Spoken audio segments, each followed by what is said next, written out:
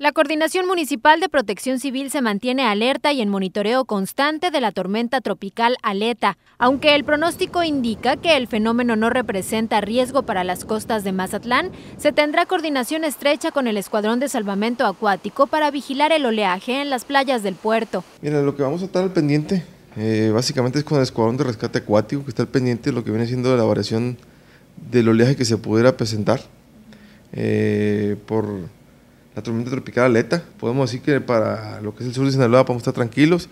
Eh, tenemos un sistema anticiclónico que eso origina que la tormenta se, no llegue y se abra lo que es hacia el Océano Pacífico. El titular de la Unidad de Protección Civil en Mazatlán, Oscar Roberto Osuna Tirado, informó que ante la inminencia de la llegada de las precipitaciones por la formación de los primeros ciclones tropicales en el Océano Pacífico, esta semana será el recorrido oficial por los albergues de primera instancia y en los próximos días, dependiendo de las condiciones climatológicas, podría sesionar el Consejo Municipal de Protección Civil. Sí, estamos en monitoreo permanente. Esta semana tenemos recorrido de los albergues, eh, precisar el viernes eh, con los siete de primera instancia con las demás autoridades eh, y, y, esperando pues ya básicamente eh, el grueso de la temporada. ¿no? Con imágenes y edición de Carlos Castillo para las noticias TVP Eunice Redondo.